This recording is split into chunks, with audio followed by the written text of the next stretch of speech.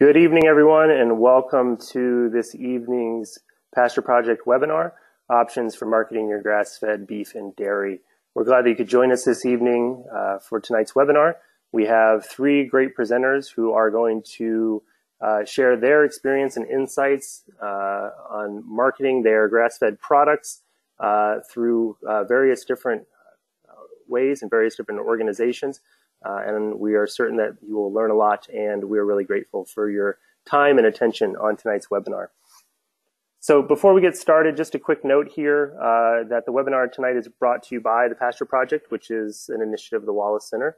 So want to introduce our presenters this evening. We have three great folks here that are going to join us, and I'll run through and do uh, some bios in the order that they're going to be presenting. Uh, first up, we're joined by Rod Ofte uh, of Willow Creek Ranch and uh, Wisconsin Meadows Grass-Fed Beef Co-op. Sorry, Rod, I left the Wisconsin off that. Um, Rod leads the pasture project's work in the Kickapoo River watershed, and he's a member of our core team. He's also a fourth generation farmer that operates a rotational grazing beef operation near Coon Valley, Wisconsin. He's a graduate of the military, military academy at West Point and has uh, done uh, military service and deployments in Western Europe, Eastern Europe, and the Middle East. He also has his MBA from Boston University and 25 years worth of experience in the food industry uh, in Europe, the Middle East, and Asia. Since 2007, he's been back uh, to his farming roots in the Driftless of Wisconsin near his family homestead in Coon Valley. He's currently the president of North Group Consulting and markets his finished cattle directly to consumers via the Wisconsin Grass-Fed Beef Cooperative. He, in his spare time, if he has any with all those things he's doing, Rod's a fisherman, hunter, and a dad to two girls. So Rod will be presenting first. We're also joined by Adam Warthesen, uh, who is the government relations manager for CROPP Cooperative and Organic Valley. Uh, for the cooperative, he focuses on government affairs and provides support to various departments and farmers on organic food and farm programs, regulations, and advocacy campaigns. His duties include cultivating relations with policymakers and agency staff, as well as numerous organic food and farm stakeholders. Previous to coming to CROPP in 2014, he worked for 12 years on food and farm policy for the Minnesota nonprofit Land Stewardship Project.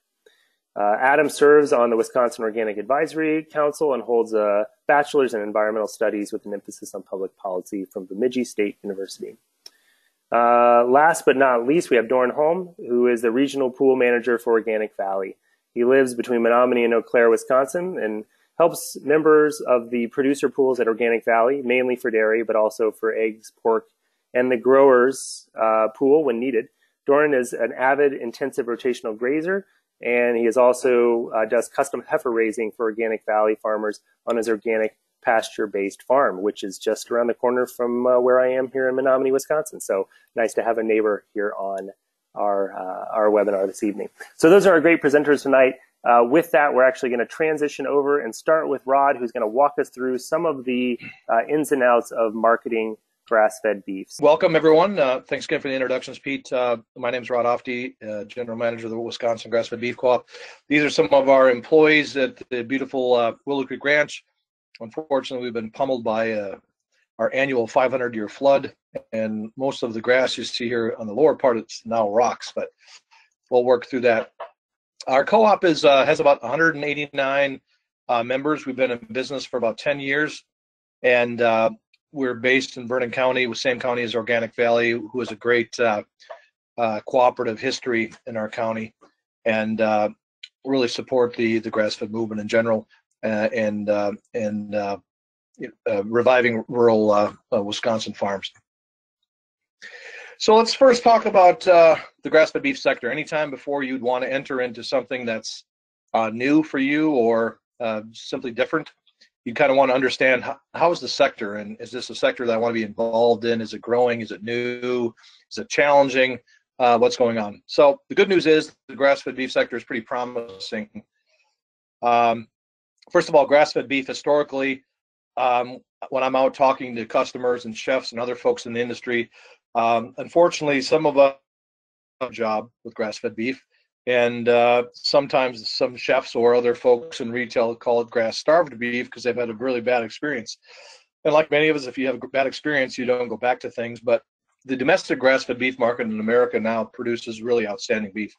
Uh, it's not uncommon for things to to be in the choice category, which in the USDA meat scale is very, very, uh, very strong, very um, high value meat um, category.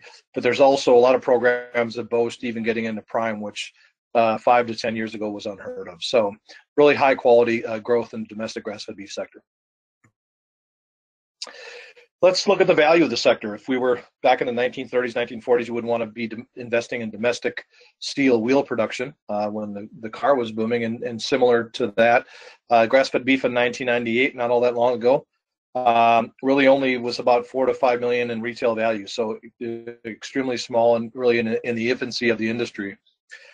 Fast forward about 20 years, um, it had grown to three plus billion in the U.S. Um, over 30 1,500 uh, growers involved and growing annually at a strong double-digit rate of 20 to 30 percent. Now, the chip on my shoulder as a uh, American grass-fed beef producer is if you look at the imported versus domestic numbers, about three quarters or 75 percent of what we consume as Americans as grass-fed beef is imported. And that's an insult because we can make amazing grass-fed beef. We can support rural economies. We can support American farmers by uh, doing it right here just as good, if not better, than other folks. So uh, there's a huge opportunity there if you look in the underlying numbers for us to take uh, take a larger share. Nevertheless, the market has reached about 7.2 uh, percent market share. Anytime uh, you're involved in the food industry, uh, if someone gets to five percent, one, two, three percent, the big players call that a niche. Oh, they'll come and go. They'll be gone. And when you hit five percent, people really pay attention. And what's happened is at the 5% level, uh, the major packers like JBS started buying uh, regional or smaller grass-fed programs to kind of cover up their own imports and other things. And they said, "Hey, this is for real. This trend is for real. Uh, we need to get involved." So you'll see people like JBS now own Grass Run Farms, which was a small Iowa family uh, operation, and that is now a, a JBS brand the, the good news for us as a, as a whole as grass-fed producers is the uh, the category is growing and we, uh, it's a strong thing to be taken part of. So many reasons to consider uh, 100% grass-based operation. So to qualify for grass-fed, and 100% grass-fed, grass-finished, uh, you do need to be 100% grass-fed operation. Now, if you're a person that needs to have a lot of attention, if you like free hats, if you like free coats, if you like a lot of people visiting your farm, grass-based operations, grass-based um, beef production is not for you. Sorry to give you the bad news. This is a picture of a typical grazer uh, out with his dog and checking on the cattle. Um, you, the only disadvantage of the whole operation is you're not very popular. So uh, you're not buying a lot of equipment, so the John Deere person's not visiting you. Um, you're not buying any pesticides, herbicides, seed, et cetera, et cetera. So there are some drawbacks, but uh, also a lot of positives. We'll move on to that. So first, as a, as a landowner and or farmer, especially we have a lot of young and beginning farmers on our call, you know, look at your options. Uh, you can do conventional, you can do better, faster, stronger, you can uh, fight for scale, or you can do things different. Um, one thing I, I looked at um, as somebody getting back into my agricultural roots, these numbers come from the uh, Minnesota Corn Growers Association. So this isn't a you know a political grass guy peddling grass numbers. This these come from a you know a, a, corn growing association. The point of this is not to bash conventional farmers. The, the point is the financial um, outcomes of conventional farming are are very unpro- non-promising.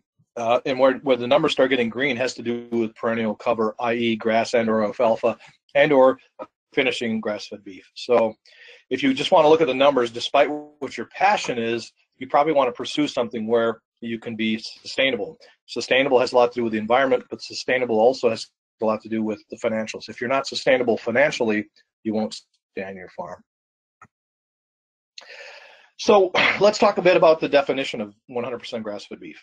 Um, that's to a lot of us that are farmers, it's it's blatantly obvious. Um, I get a call at least once a week from people, mostly consumers, asking, "Well, what do you feed them in the wintertime?" Um, so if you're a consumer, I guess a crazy question. It is dried uh, grass-based forage, so either haylage or dried dried hay. But yes, they must, if you want to qualify to be 100% grass-fed beef in terms of a legal FSIS uh, approved label, that needs to be 100% grass-based forage over the life of the animal. That means no corn at any time. Um, I have people in our co-op. Um, well, it's just a few days of corn or just a few weeks of corn isn't isn't bad, right? No, no corn at any time. That's the promise you make to your end consumer, and that's the promise that we need to keep um, in terms of keeping your brand promise.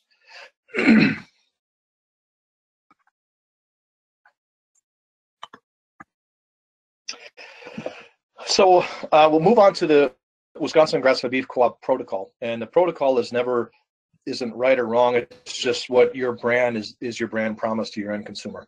Uh, somewhat unique, and many, of these may be like uh, Organic Valleys. Some of them are slightly different. Um, we do have a non-GMO uh, promise, which means uh, no GMOs are planted or used. Uh, we tried to pursue a very heavy non-GMO claim, but because GMOs are so aggressive, they may even take over an organic planted species. So we simply settled for the no GMOs planted or used. We do have a 100% no antibiotics policy. Um, do we have uh, folks in the co-op that uh, sway a little differently on this? Um, if somebody gets sick in our herd, uh, we'll we'll treat them with antibiotics simply because I think we have the means to make their disease better or to treat it, and then we'll call them from the herd. Other folks try to use, you know, pure organic methods, or other folks say, no, I'm not going to do anything and have to deal with those outcomes. That's kind of a personal choice, but the protocol does have a no antibiotic policy.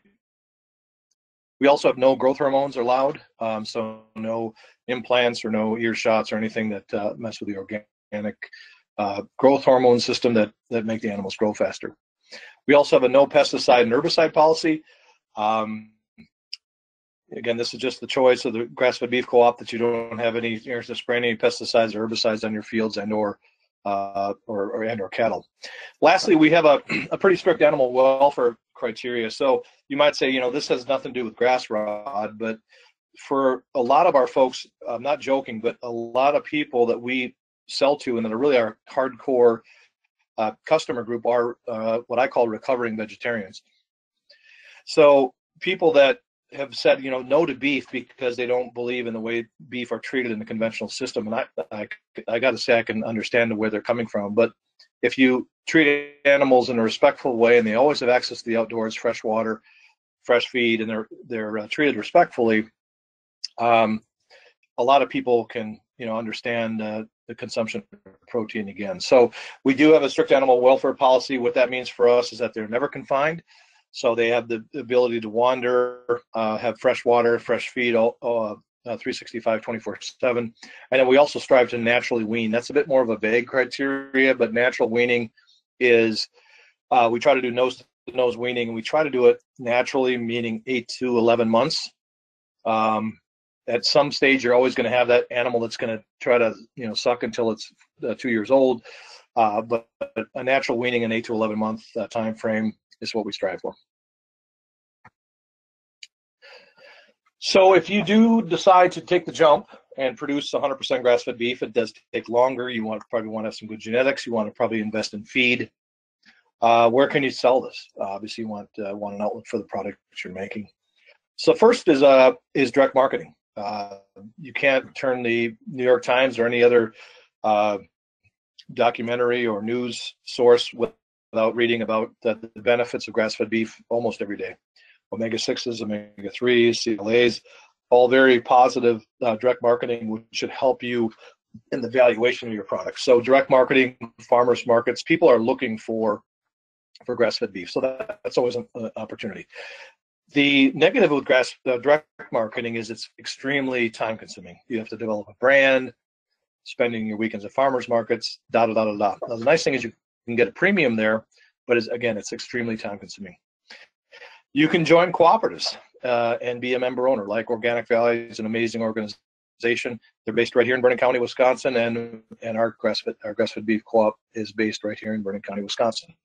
So as a co-op uh, uh, owner member, uh, you're a voter. You're you're talking about pay price. You're at the meetings, and you control.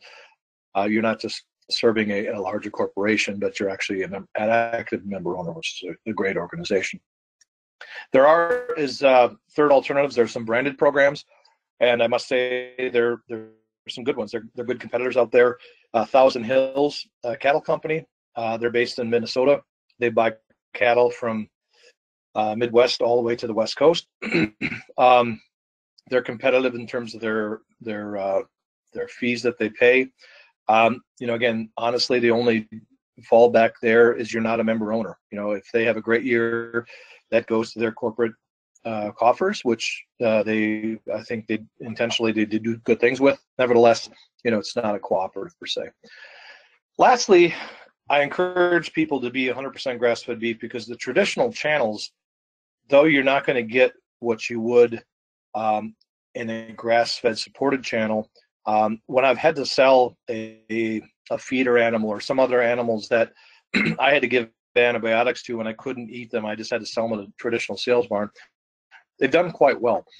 I think good grass-fed beef genetics, a solid animal that's healthy, um, it gets a high price in traditional channels. So again, worst case, if you have to fall back to that, uh, even to the sending it down to the sales barn, uh, good grass-fed genetics, good good price at the sales barn too. So another other thing to think about.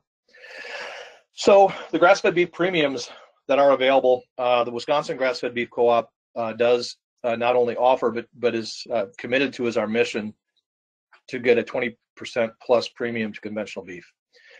Uh, what we do at our annual meetings is we take um, conventional beef prices, we add um, 20% to it and ensure our pay price is always well above that. So um, that's uh, you know that's that's a good reason to join a co-op.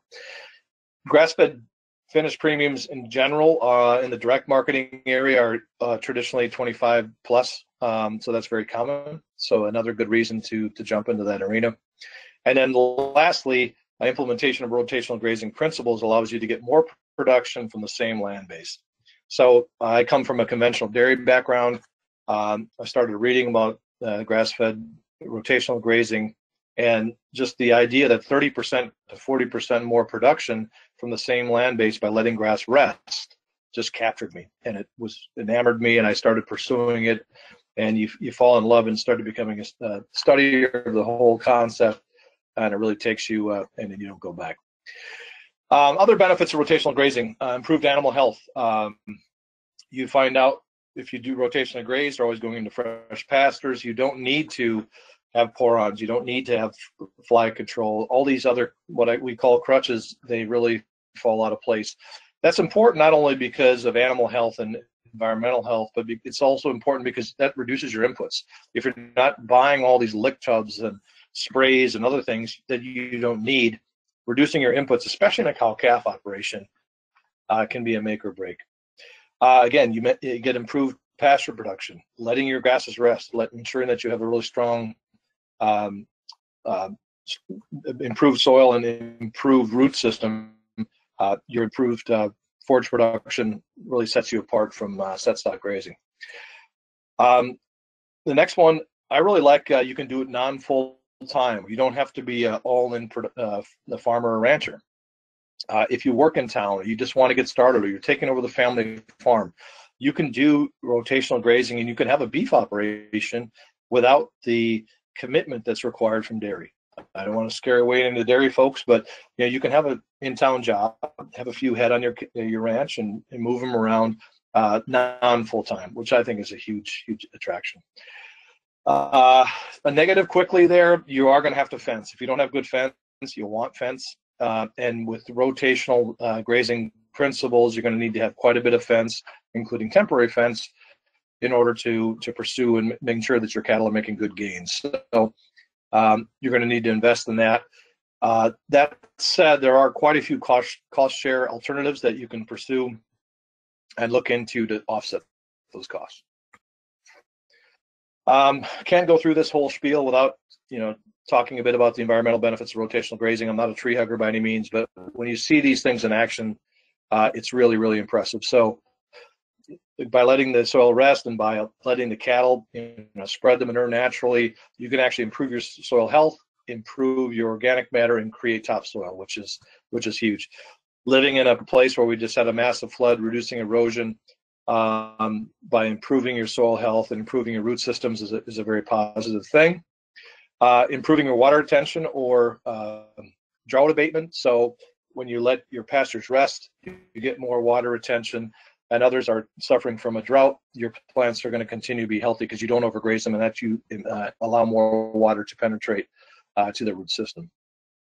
Improved water quality, if you don't have a lot of exposed soil, you have good solid uh, root systems that are allowing water to infiltrate, you're going to have less runoff and cleaner water in your streams.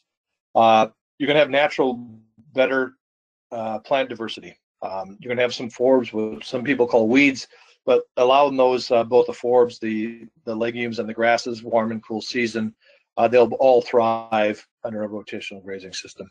And then, unlike most people think, uh, you know, when they think grazing, they think really short pastures.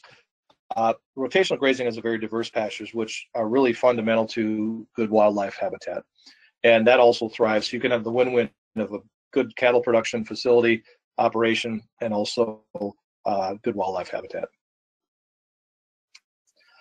So some challenges. Uh, everything's not roses in life, uh, as we all know. Uh, there are conversion and setup costs, especially if you are um, going from a row crop operation to something where you want to produce a bunch of forage. Year one, you're going to probably have to, you know, till that up, uh, put in some cover crops, uh, some some uh, a mix of both rye, alfalfa, warm, cool season grasses. Those seeds cost money. It costs money to plant that, and, and takes time for them to come up. So there are some conversion and setup costs you need to be aware of. If you are going to go organic, as we did when we first did this, um, you're going to have a certification time. Uh, often that is three years. If you just take, uh, if you know that there were uh, sprays on the land beforehand, you have to certification time, and there's also some money with uh, um, you know, applying for those certifications uh, in the meantime. So be aware of that and understand the time it takes to get there.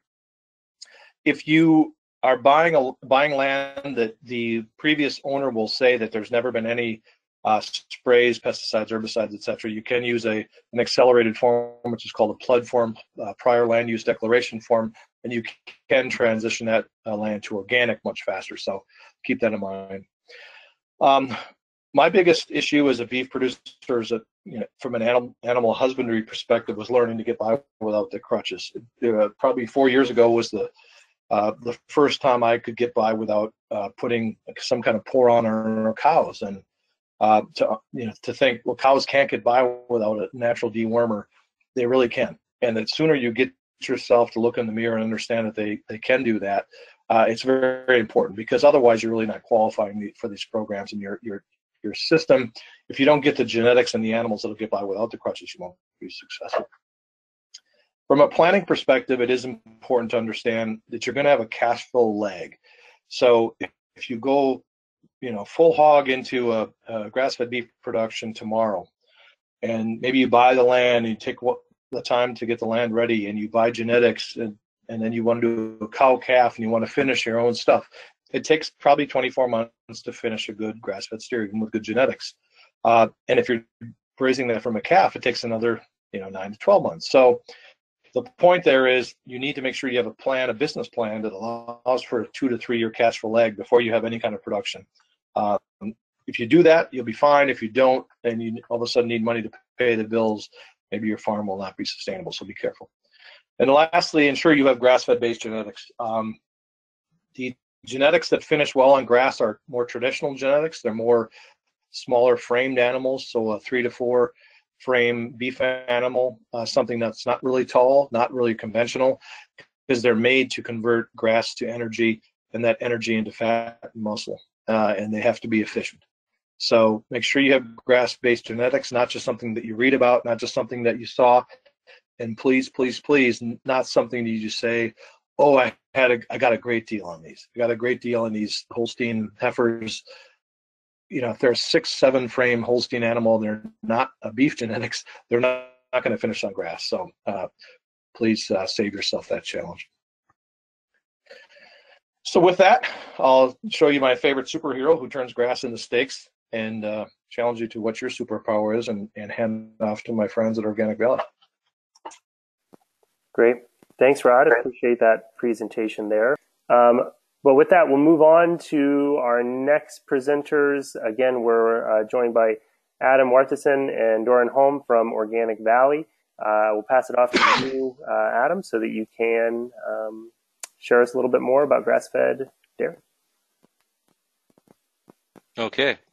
Well, Rob and um, Pete, thanks for having us on. Um, we appreciate the Pasture Project uh, carrying out this body work. I want to start out just saying a little bit about who Organic Valley is. Myself and Doran Homer are going to walk through the presentation, but um, Organic Valley, we're a cooperative that was founded in 1988. Um, and uh, we have about 2,000 farmer members and I believe about four different pool, well, six different pools um, of farmers where we aggregate their product and help market it for them. We're best known as, is probably people recognize with that with a logo there for our dairy products, which you, you find in a lot of different um, locations around the country. Uh, in terms of grass-fed, so in addition to organic, we do have a sort of I guess you could call it a diet claim that we use in, in, a, in a product line called grass milk. Um, and it's a grass-fed dairy. And we're going to talk about um, sort of some trends in grass-fed uh, dairy and also a little bit about standards and productions and how those are similar yet maybe different from beef. Um, in terms of the, the marketplace for us, you know, for our grass-fed um, milk, um, we both sell uh, branded product, which is grass milk, but we also sell ingredient products to folks that want to use, um, you know, let's just make it up, a, um, a, dry milk powder and put it into a product line and have and use it as a grass milk um, and make a grass-fed claim on that. Um, so if we look at sort of some of the trends, um, I want to talk a little bit about that grass-fed, at least in both in, in dairy and in beef, has been on the rise. And this is some data from 2016. Um, and these are sort of some some arenas where that was demonstrated. We had Whole Foods um, put grass-fed in their top 10. You had Forbes, um, you know, um, I think um, noting the similar growth that Rob did in his presentation, the 25 to 30 percent. Um, the fancy uh, winter fancy food show in the top in the top five, and even more conventional streams um, like the Milk Marketing Board, recognizing grass-fed in dairy as a growing um, category. Um, you know, overall, it's it's still pretty small. You know, organic is about of all dairy is about eight percent of the market, and grass-fed's a much much smaller piece of that. Um, the next slide I'm just going to show is a little bit of growth by the numbers. This is close to where Rob numbers were as well. The grass-fed claims growing at about 40%. And it's interesting when you look at grass-fed, you wonder, well, what is the what is the consumer's interest in grass-fed? Why is that? And it has to do in part with um, how they think about what what what they want to purchase with their dollar, and it's both um, you know, uh, animals on pasture. And it's usually sort of a family um, farm orientation that is sort of conjured up in their minds. And then you also have people that are looking at the, the nutritional attributes of food. I know uh, we, we heard a little bit about um, the omega six to three balance, which has to do with your cardiac health and pulmonary benefits. Um, and then your conjugate linoleic acids, which um, I'm not going to pretend to know anything about all that, but I'm told it's an anti-cancer and anti-inflammatory sort of um, need that your body needs in a fat. Um, if you look at this slide, it just shows also, you know, those two other areas that we just talked about that are related to grass-fed is pasture raised, right? That's grown 24%, and animal welfare, which how those animals cared for, typically not in a confinement operation that consumers are really interested in seeing. Those sales growth have been about 23%. Um, so I want to just talk a little bit about how grass-fed in dairy is different. Because um, I think as we think about this sector, as Rob put it, it gives us a little bit of understanding. So in, in grass-fed dairy, you have a, right now a lot of wide-ranging claims, and we did a collection of this in, at the co-op here. Everything from grass to glass, people are using in marketing to we're grass fed from international. Um, and in a lot of ways, they can say that because dairy cattle in some way or fashion typically have a ration that provides some grass in it, right? Um, so using grass fed is is uh, has been used a lot, and our concern has been for those that are truly grass fed in the hundred percent sort of vein, and in similar to what Rob talked about, and we'll talk about our standard, but that you know no grain, um, that there's an animal welfare check. Um, you know, for us, it's everything above organic in a feeding claim. That that we're we're losing sort of that space if if it's sort of bombarded by subpar claims. The other thing to note is that um, dairy labeling is usually in the in the world of states and or FDA, the Food and Drug Administration, and Food and Drug Administrations is largely, you know, products cannot be uh, they need to be truthful and not misleading. So that's not a really, uh, there's not a lot of strength there. Um, I'm not pretending that the Food Safety and Inspection Service has a lot of, uh, which is under USDA and sort of sets the expectation for grass-fed beef. They don't do enforcement on that um, like you would on, you know, an organic certified claim, but it at least has sort of a expectation if you're going to make the claim on on on um, on meat because FSIS oversees both meat and eggs. Uh, the other thing that I would just note is there's a prevalence of dairy and, and branded product categories. So you have you have grass-fed milk, you have grass-fed cheese, you have grass-fed yogurt, you have gra- and and um, you know you have grass-fed uh, half and half. So we just have a lot of product areas that are somewhat different than dairy. The other thing to recognize in dairy, and we'll get into this a little bit, is the energy needs for a dairy cow are different than those for a um, for a beef cow or, or you know a steer that's going to slaughter in two years. So there's just some considerations on how do you make sure those animals stay healthy, and it's a real big concern that we have in terms of animal welfare and animal care is how do you make sure you have the management techniques and abilities to do that on a farm. Not every farm can be a grass-fed farm.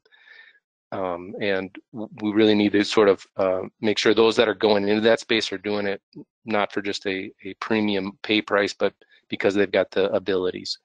Um, I want to just speak to this last piece. Uh, it's which has just come up most recently is some lawsuits. So we just saw a lawsuit come out of California where Kerrygold, who is a, um, a company, uh, a branded product out of Ireland, is being challenged um, for misrepresenting its feed to cows um, because it makes a grass-fed claim. And then you, know, you, can read in the bottom paragraph there that um, it, where it's false and misleading. So this company, this this class action is being brought against this company on their existing claim. So we're really in the space of now wanting to make sure that you know we're in a strong position in in marketing our products and that we're you know meeting those expectations. This comes out of California, which has some unique ways that um, uh, class actions can come forward. It's just the way that they're they're structured. Uh, I want to take a minute and let Doran maybe talk a little bit about our program. He he works a lot with our farmer members, and probably can tell tell tell folks best about sort of what's it look like on the ground, and and talk a little bit about our pay price and, and our number of farms. Sure. Thanks, Adam. I hope everybody can hear me okay. Um, it was cutting out a little bit, but uh, hopefully you hear me fine. Uh, I first just want to say, yes, I'm Doran Holm. I've been with Organic Valley about 13 years uh, on staff, uh, helping to uh, helping our membership in my role as a person out on the ground, out in the field. And I was a producer with Organic Valley before that. Our farm was kind of a startup. It was a startup first generation and kind of a project for my children, for my wife and I to have our kids uh, just learn the value of working on a farm and with cattle. And it was a tremendous experience. we actually still have a couple of young children that, even though we're not milking cows right now, we'd maybe like to do it again for the two younger children we have that uh, should would benefit from the same experience. Um, so yeah, the grass milk program um, really, I think it, its genesis at our co-op started just uh, with one of our members who lives about an hour north of me. Uh, you know, I'm in, I'm about an hour east of St. Paul, Minnesota, And then this person is about an hour north of me. Uh, Cheyenne Christensen, maybe a name people have heard of, but he uh, such a pioneer in so many things organically. And um, and one was that way before anybody else, he seemed to be a person that was feeding no grain to his uh, to his dairy cattle and making it work. And um, so people start and and for a long time saying we should have this type of product.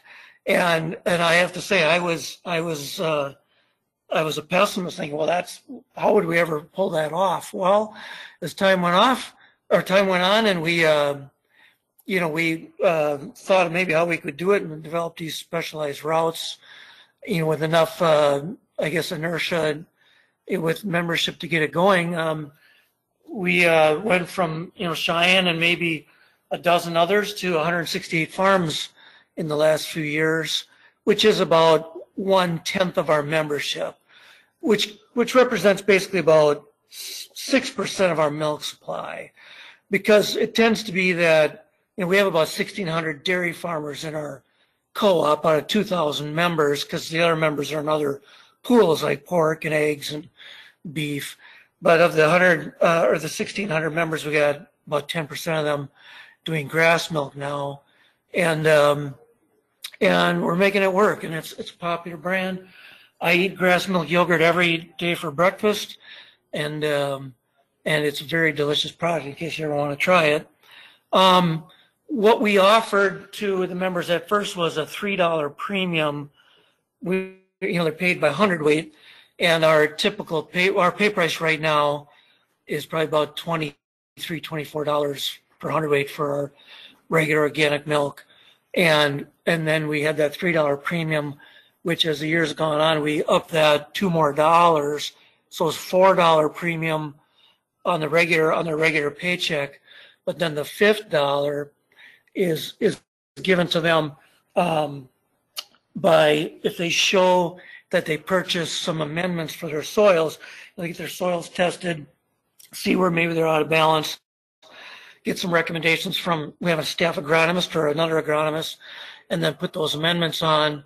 You know, maybe they get a buggy or two of, uh, of amendments and it costs them four thousand dollars over a year's time, that dollar reimbursement may just about cover the cost of, of those fertilizer inputs. So really trying to make sure that the grass milk farmer is getting their, um, you know, their these amendments on and having the best balanced soils they can have, very well mineralized, because everything's got to come, you know, out of there versus trying to supplement them with, you know, a little corn. And I will say on behalf of all of our other members, the other, you know, the remaining 1,600 members, uh, the 1,400 or so that are that are uh, not grass milk, we are a low grain uh, membership you know, but uh, in most of our membership who do feed grain feed very, very little.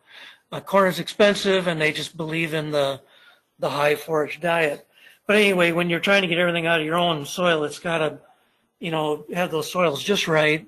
And then you need to, uh, of course, the timing of, of putting up your forage is got is just critical. And that can be a real challenge. You know, if we want to talk about what some of the challenges are, um, you know, a lot of our grass milk farmers are smaller farmers. Like I said, they, they're 10% of our membership, but only really 6% of our milk. They tend to really be, you know, a lot of them are, you know, 30 to 50 cow dairies, uh, where our, our average membership is around more like about 75 to 80 cows dairies. And um, so it's tough for that farmer to have the equipment that's needed. And sometimes you maybe aren't working with the best equipment that can move over a lot of acres fast and put up feed fast, or you're relying on custom harvesters, and then you're kind of at the mercy of their schedule. Um, but so it's real important to put up good quality feed, you know, very timely, and um, and uh, of course, you know, try to avoid the rains. And baleage is real common, and yet people would like to try to, you know, make some dry hay too, and maybe second or third crop when it, you know rain is maybe not so prevalent as early in the year, and uh, and get that up get that put up well. And, um, and then if you, um, you know, put your feed samples to our nutritionist, or a nutritionist. We have an on-staff nutritionist, which works very closely with our grass milk farmers. But uh, then, then take whatever the recommendations are from the nutritionist and balance that ration to the needs of an animal, so they get all the energy they, need, you know, to uh, have a balanced ration and and stay in good health and also produce some milk. And uh, our own staff nutritionist would say that that's Dr. Silvia Abel-Caines that, you know, what she sees as far as the best produce, people having the best outcomes are those that will blend, continuously blend in, um, you know, maybe the feed they make with maybe some feed they purchase. You know, we have a grower pool, a pool of producers that just grow feed for our other members and grow very high quality feed. Sometimes you, quite frankly, it's almost kind of, it's not impossible. It's a quite a challenge to grow the same feed in western Wisconsin that you can grow in western Minnesota or, you know, the Dakotas, and to pick up some of that feed and blend it in with what you have to have a really good, um, you know, ration for your your grass milk animal is, is really, really a good way to do things. And you know, we did have um, a, uh, you know, when we started the program, you could feed your younger your young stock some grain, but we've transitioned away from that to where, you know, now, if it isn't now, it's coming here in the next couple of months, that all of our, Adam can maybe correct me or, or clarify on it, but that all animals of all ages um, are completely on grass or, or no grain, all ages. So um, I think if I've maybe covered the pay price there, so basically the pay price is whatever our pay price is for our other members, plus five dollars, the final dollar, the five um, in amendment reimbursement. The uh, animal care requirements, I really, I, I just want to give some uh, recognition to what Rod presented. Really nice presentation about the requirements for animal care and, and the soils and such too is pretty much something I don't need to repeat verbatim, but but that uh, is pretty much what we need to do as well. Um, I'll just take a minute here to look at a couple of my notes. I just heard about this webinar yesterday, so I wasn't well, well let me let me add to that. One of the things, Doran, that we offer for those listening in is um, our team does a, an animal care audit every year on each grass-fed farm to check the condition of those uh, animals and make sure that they're in, in health, and we keep that on on file we're in the process and why um, Doran said he, I maybe could give some insights. We're in the process right now actually of building out a more substantial certified grass-fed program. And that certified grass-fed program is going to be an industry-wide program that we will put in place with a couple of other companies um, that'll be relying on the certification strength of organic certifiers, but sort of the bolt-on of what does it really mean to be grass fed? And I'll talk a little bit more about that. One of those aspects is the care of those calves. And, and this is where dairy and beef are a little different. We have some, um, uh, you know, because you're milking cows for their milk to sell. So you're oftentimes removing those calves fairly early on in their lives. Um, so there's some supplementation that's happened traditionally, and now we're looking at making that more grass-fed the whole way through. So um, Doran, do you want to speak at all about um, the protocols for our existing grass milk in terms of what they're they're fed or what can they can't be fed?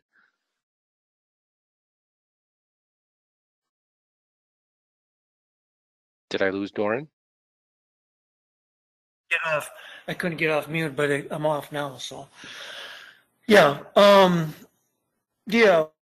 Well, basically, it has to be um, no grain. And so, getting back to what I was saying earlier, it's great uh, emphasis. You know, people try to have a. What's real common with our grass milk farms is you'll you'll you'll be harvesting mechanically off of the same fields that you tend to. I'm not exclusively, but a lot of what you graze is also harvested mechanically um, as grass comes flying up early in the year you know, you'll you'll have your cattle grazing on part of the farm and then your swipe off part, and uh, and so that feed tends to be a, a, a blend, you know, of maybe 30% legumes you know, 70% grass, but a diverse, diverse mix, sometimes up to 17 different types of grasses and legumes in that, in that mix. That works well both for grazing and for, um, for harvesting. And then there's some annuals, summer annuals that people will try, but those can be real susceptible to the weather, you know, hot or cold. And I don't have a lot of experience with them personally. I, I haven't grown any, but sorghum sudans and sorghums. But you, you, it just can't be anything that grows any sort of a grain um, or a head to it, um, or um, a grain grain head. Um, again, on the dairy side, um, molasses is allowed and and I think encouraged, uh, especially in the winter. Uh, maybe a little liquid molasses. Uh, I've really only known of one lick available that now I hear it's not going to be available. But if uh, to just give a little more energy along with you know high quality maybe an alfalfa that is bought in you know is really helpful. But it, there ain't I, there's really not a lot to say about it because there isn't much that can be fed besides forage. Uh, summer or winter it has to be it has to be uh, grass. Um, one thing i wanted to mention too is that we you know we only consider just i don't want to get hopes up for maybe somebody listening who's like, oh, we are doing a little grass dairy. Um, maybe become part of Organic Valley, and maybe you can. It's just, um, and when we think about the people listening to this thing and what your marketing opportunities are, your options for marketing your grass-fed beef and or dairy. Well, we do have a, you know, we do have a, a beef pool, but um, uh, at this point, it's not, it's not completely grass-fed. So you may be more inclined to work with, with Rod and, and his, his group, uh, at least in the Midwest or however far they cover. But when we have grass milk farmers that actually cover the whole United States, we started out in California and then we started up in the Midwest, then we moved to the Far East and then the Mid East and then the Northwest part of the United States just recently, just this year. And, um, and where we get our members from for grass milk is from our own membership. So basically, to get into grass milk with Organic Valley, to begin in, into that carton or that block of cheese that's grass milk from Organic Valley, you already have to be an Organic Valley member. And then what we look for is membership members that express interest in it. We don't ever talk anybody into it. Uh, but we, if people start coming to us about it, which happens to me all the time, because I'm one of those people on the ground that does the audits, does the body scoring, you know, um, you know, looking at the animals and and uh, their uh, dry matter intake and their, you know, I go through a big process. I just finished my last one for this year yesterday, and that's about a two-hour sit down at the kitchen table, and then we go out another hour and a half looking at everybody, all the animals of all ages. But that's only within our co-op. I mean, we we'll have members that may say to us, you know, I feed, you know, seven or eight pounds of grain to my Holsteins, and they're looking at grass milk. It's like they're a long way away from being a grass milk. Yet we've had other members that were 12 years grass milk and just didn't have access to that market logistically. And then finally, as we grew the program, we could get them into that uh, program and that premium that they've already been doing it for so many years, but they, they had no premium for it. They just did it because that's they want the way they want to manage. And that's something I really want to emphasize is that, uh, you know, uh, I guess when it comes to the challenges and opportunities of grass milk in our co-op is, you know, why do people want to do it? Well, it, can be a number of things that drives a farmer to it. it first of all, they're, they're just not a machinery driver. We have, there's, there's a couple different types of farmers out there. There's those that really like to, you know, stroke, you know, the neck of their cows, and there's others that like to stroke the fender of their tractor, you know, or be pictured by the cow or take their picture by the tractor. And uh, we have both type of farmers in our co-op. And uh, there's people who like to grow corn, and they they live on land where it's good to grow corn.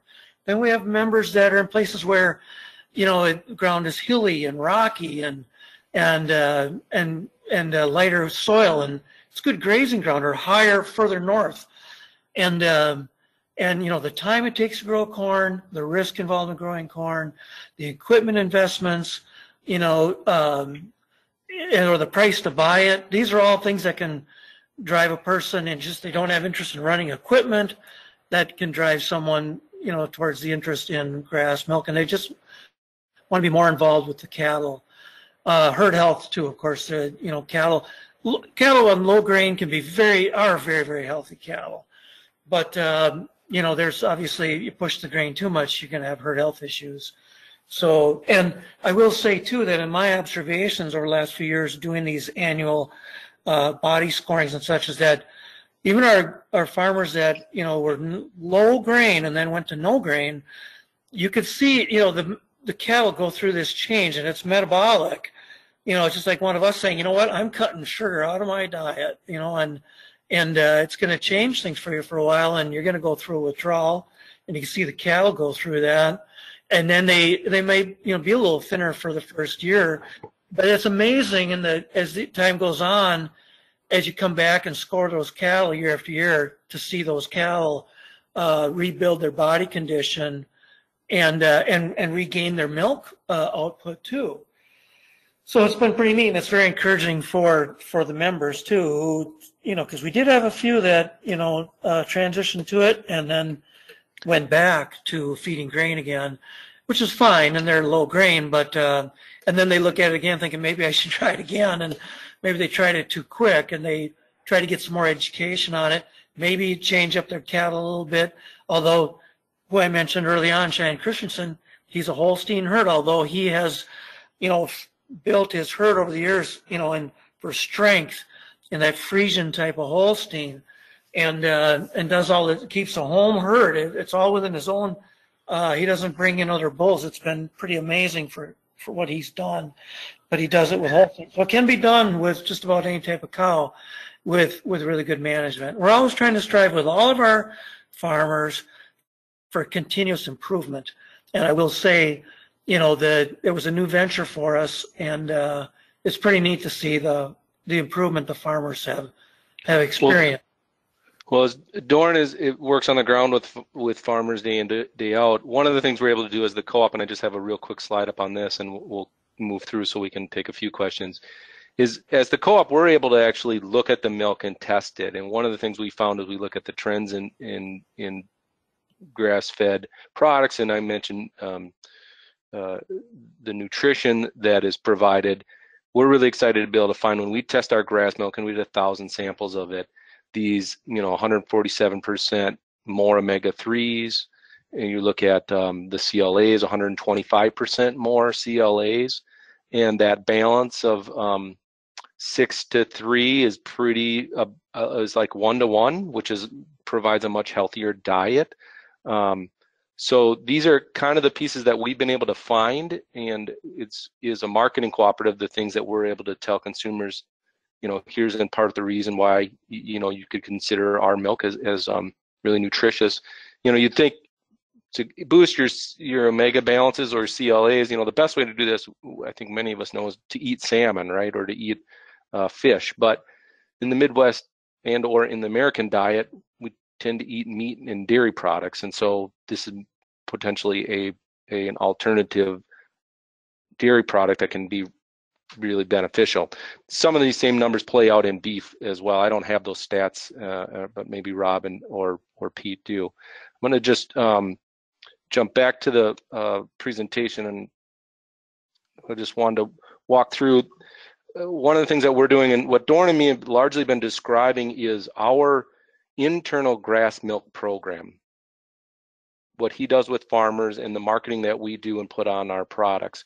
But we're not as a co-op and, and as a, a leader in the good food movement, we want to see grass-fed succeed across the country within the dairy sector. And so we've looked at um, pulling together a, a, set of companies um, and, and actors to develop a uh, certified grass-fed standard that lives outside of just our own internal audit mechanisms.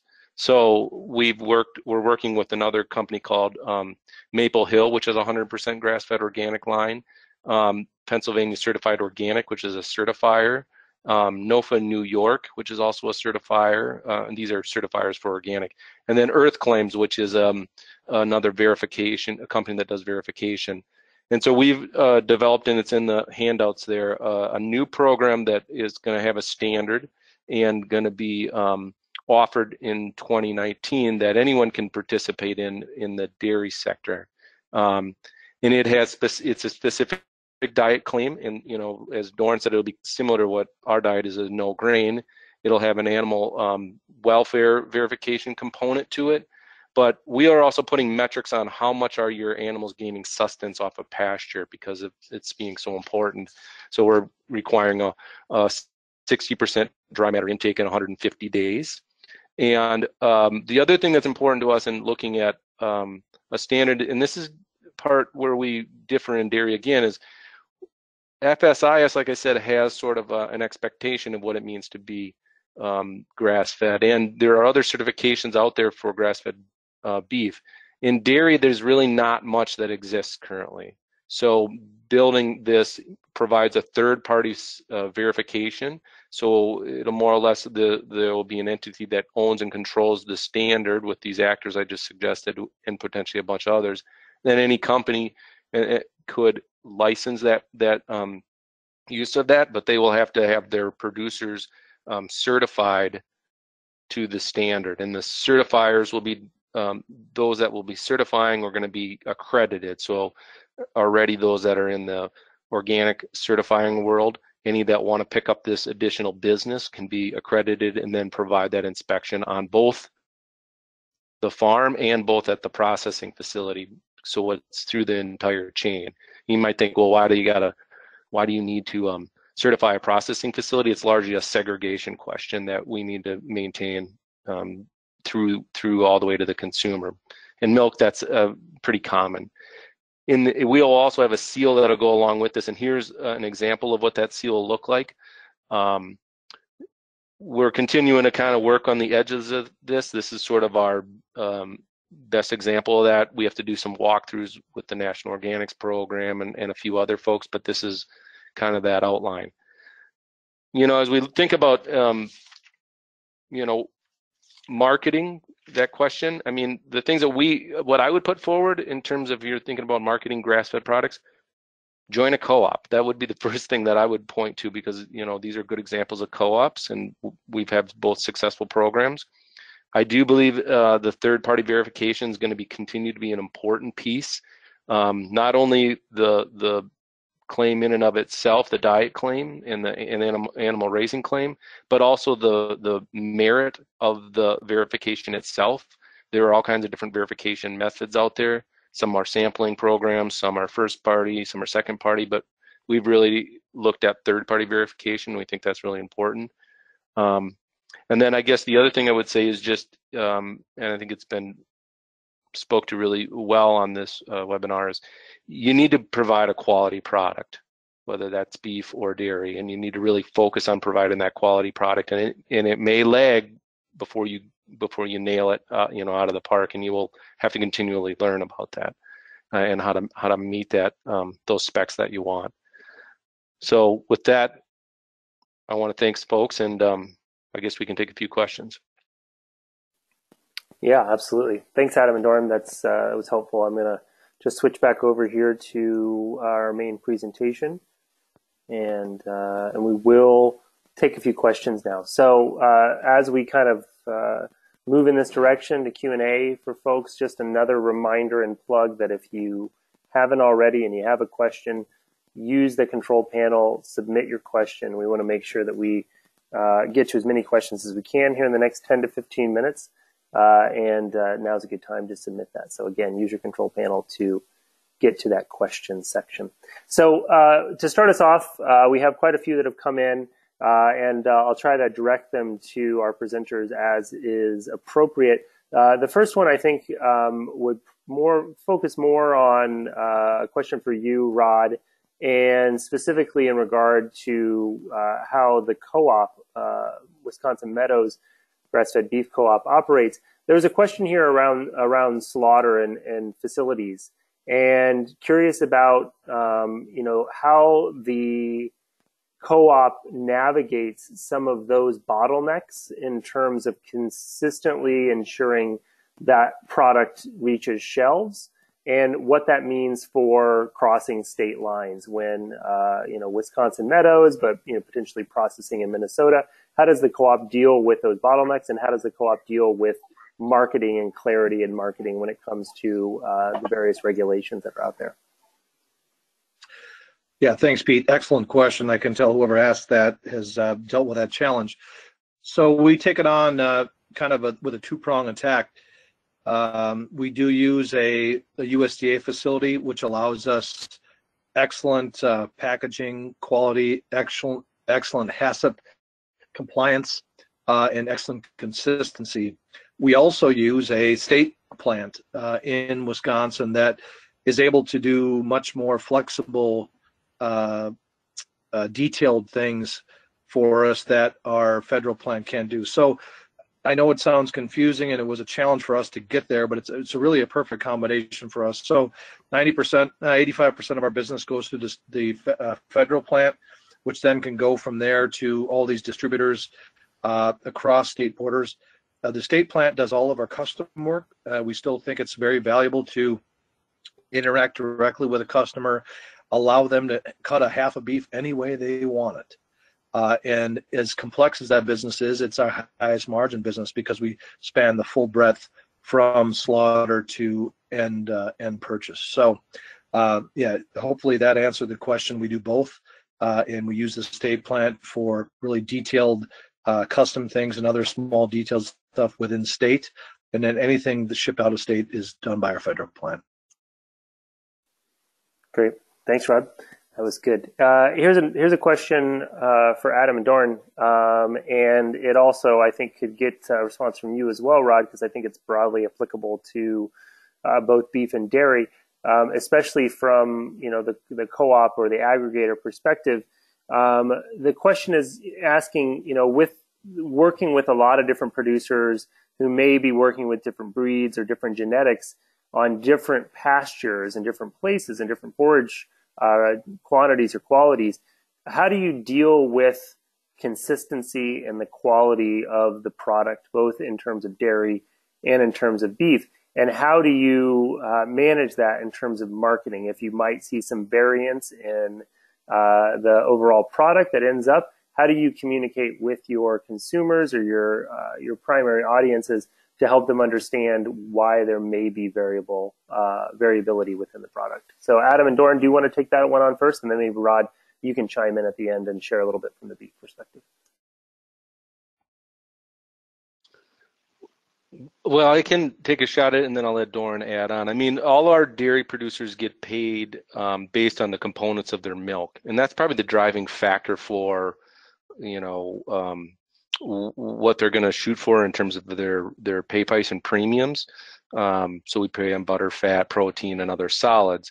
Um, the grass fed is sort of an on top of that um, offering, as Doran outlined, um, uh, four dollars uh, premium. In terms of uh, you know the milk is uh, we see variability in even in our existing milk, but um, I'd say it's pretty consistent overall. There can sometimes be slight flavor um, tones that are different. And in grass products, the flavor tones are different generally. I mean, you just would notice that if you had a um, grass milk versus another milk. And some people find that very preferable, and others are less inclined. I don't know, Doran, if you have anything to add in terms of the variability of the landscapes uh, that we work Well, that, that was good uh, explanation or answer, and I would just add that you know we we produce we we process regionally. You know, we co pack with 90 plus plants around the country, even though we, we ourselves only own one or two or three. Um, but when it comes to fluid milk or whatever, it could be a cheese or yogurt, it's done regionally. So it tends to be if it's the Northwest part of the United States or the Midwest or the Northeast, that, you know, the, the things unique to that area are going to be in that area. It's going to be produced there, processed there, sold there, and consumed there. So it's going to be, sim, you know, it's going to be consistent in that area. Um, so uh, people probably wouldn't notice much. Very there, there, there's not going to be a variance noticed by the consumers or you know the buyers hearing something like that, like a maybe like a complaint or a question or anything. If that helps. It does. Rod, do you have uh, some perspectives on this in terms of uh, the the beef co-op? Yeah, absolutely. So we started, Pete. Uh, uh, the first one or two years of the beef co-op was all kumbaya. Take any grass-fed beef; it's all great. Uh, and we quickly found out uh, we were actually lucky to survive that all grass-fed beef is not created equally. And what you had is some was grass-starved beef, and they fed it grass all year long and thought that was enough. And you had other folks that did it extremely, extremely well. So that not only the taste profile was better, uh, in addition to all the uh, human health benefits, but uh, it was just an excellent eating experience. So we quickly went from one pay price to two to three to four, and we now have five. Similar to what our OV uh, brethren are doing, based on they're doing it based on their probably amino acid, CLA, omega six, omega three profile. We do it based on your USDA uh, finish. So if you finish in a choice, you get a, a, a, a, the highest price. If you finish high select, it's a very good price. If you finish mid select, it's a good price.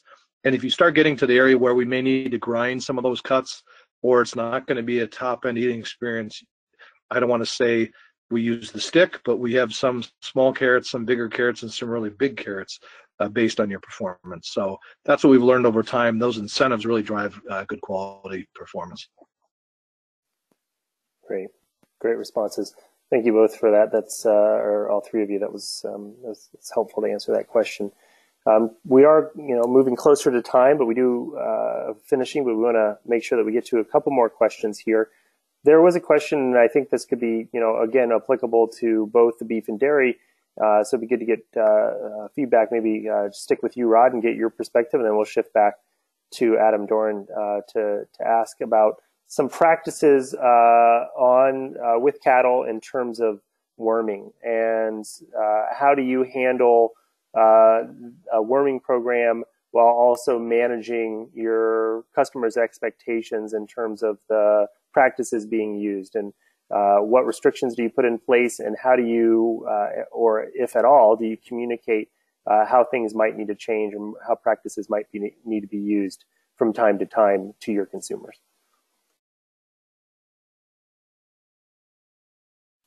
Rod, do you want to start Do you want me first? Yeah, sure. So uh, that would the clarification of the question, that was a worming. That's right. A clarification on your worming program and how you communicate right. when that's necessary to your consumers. Yeah. Okay. So what we our commitment is that we never have any pesticides or herbicides. So that says there's no deworming involved. For our first eight years in our program, we were organic certified. So we also used there was a Pyganic, a de, uh, uh, organic, wasn't a dewormer per se, but a, a more of a pesticide, and uh, an organic certified pesticide. But there are no that I know of other than cattle finding their own uh, plants that are an organic pesticide. So uh, dewormers are not allowed. That was probably the last crutch that took me to get away from. But uh, if you can't live without it, uh, you've got other issues, I can say, as being experienced. And secondly, dewormers are really only, even in the conventional industry, required for cows that are, you know, of long length and life and have maybe issues with body condition over the winter. Um, you should never ever need dewormers on, you know, young cattle that are finishing in 18 to 28 months. So I guess that's my inputs. Great. Doran, Adam, do you have any insights? Sure. Uh, Adam, you want to say something, or I'll say some things. You you better. Okay. Well, the biggest thing with uh, uh, de- deworming or, or just having a low parasite load, because really you don't need to. The idea is there is no deworming that needs to happen. You just you have a low, if almost non-existent parasite load by good managed grazing which means taller grazing. You know, those those the, the, the larvae for those worms, you know, creep their way up from the ground uh, as dew is on the ground, and then as the dew, um, you know, is burned off, they will start to go back down towards the, the soil. And so the key is, is don't graze things down so low that uh, your animals are going to be eating uh, the larvae that are going to give them worms. The other thing too would be obviously is you know is to be moving them and giving that pasture a long rest time. But taller grazing can't emphasize it enough. And also for calves, you know, to keep the worms out of your calves at an early age. One thing, of course, is longer, uh, you know, don't wean them so soon. We were encouraged long period of time that cattle are, or that uh, young stock are, are, are on milk. And then when they are grazing, that they are moved and they're in taller grass, not too tall, but taller grass, and they are not in the same area all the time with your young stock, which tends to be a problem on farms that young stock, well, they go there. That's their pasture. Oh, Those five acres over there. Well, then you get a big worm load in that area and you want to keep moving them around to fresh, fresh ground. And there are things like diatomaceous earth and stuff that can be fed, but it's, it just isn't all that necessary if you manage your pastures well. Excellent. Thanks, Doran. That's helpful. And, and thanks also, Rod, for, for the input on that. Um, we are coming up close uh, to the end of time, but we do have one last question here that we'll throw in. And I have a feeling, Doran, this is directed towards you, uh, and that you were talking a little bit about uh, uh grain and seed heads. Uh, the question from this audience member is Can you cut barley in the soft dough stage? And I'm assuming that means is that still uh, does that still right. qualify? Yeah, that's a good question. We get asked that uh, for whatever reason somebody might be wanting to grow something and and that is allowed, but I don't. It just really doesn't happen much. But apparently, yeah, whether it you know there's male sterile corn, uh, you know, or corn in the dough stage or below that. But then the question is your tonnage. You know. Um, you know, it seems like you're leaving a lot on the table as far as what there could be. So it, it can be done, I guess, but it's, uh, and maybe Adam can clarify on it if he knows more. My understanding is it can be done, but I don't see it happening um, out in the field. And, and while I just have the microphone, I just want to just give a word of encouragement to everybody that, and I think about, you know, I kind of come up with my own little question or theoretical, hypothetical, or not hypothetical, but rhetorical question is, what other animal can you manage around your farm with one wire? You know, it's nice to have a good perimeter fence, but isn't it, aren't cattle wonderful in that if you move them every day, whether it's a heifer, a group of heifers, they can be young or older.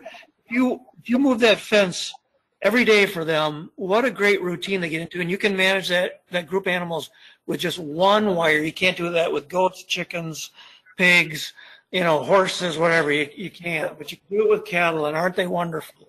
I just want to encourage all the young, new producers that uh, it's a great life and enjoy it, and good luck to you. Yeah, thanks, Doran. That's actually a really good, uh, great, great spot to end on uh, as we as we wrap up here. Um, and wanted to say thank you to all of the presenters, Rod, Adam, and Doran. Thank you for uh, all the information and for taking uh, quite a range of questions there and responding so eloquently. And also just want to thank everyone who has joined us tonight. Some contact information. Again, uh, these are the three uh, experts that have joined us, and uh, they're wealth of information and provide uh, quite a bit of uh, expertise. And I know that they're they're great guys that are more than happy to help folks out as they're figuring things out. So some emails there for Rod, Adam, and Doran. Uh, feel free to reach out. Of course, my email is at the top as well, uh, Pete Huff at Winrock, and you can uh, reach out, and I'm more than help, happy to help uh, direct you to someone if you don't know who you need to be directed to. Uh, I'm always happy to help out in that regard. Also, just would encourage you to spend some time checking out uh, the Pasture Project website as well as Wisconsin Meadows website. and then, of course, Organic Valley has a great website with great information and great resources. But with that, we will wrap up for the evening. We are just at 8.30. Want to say thank you again to the presenters and also say thank you to everyone who attended uh, tonight's Pasture Project webinar. And we wish you the best of luck uh, with the good work that you're doing or plan to do. And we look forward to seeing you at a future webinar or hopefully in a pasture somewhere uh, in our future events. Thanks, everyone, and have a good evening.